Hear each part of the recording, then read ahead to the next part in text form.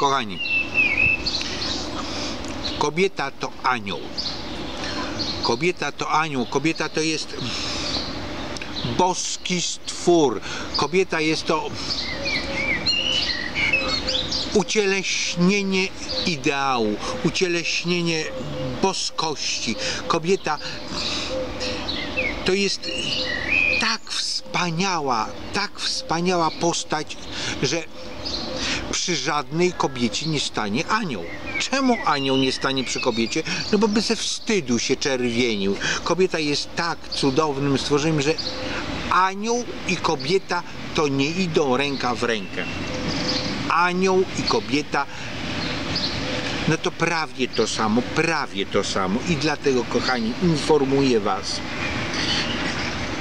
przy żadnej kobiecie nie ma anioła stróża.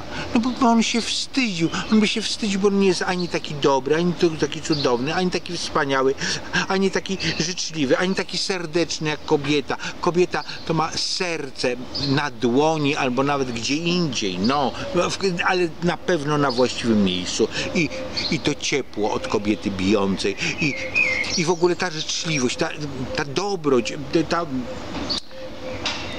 wspaniałość jest tak ogromna, że żaden anioł przy kobiecie nie stoi, nie towarzyszy. Wniosek? Każdej kobiecie towarzyszy diabełek i to nie jeden. I, i dlatego, kochani, ostrożnie, gdyż to diabeł pilnuje kobiety, żeby jej się krzywda nie stała.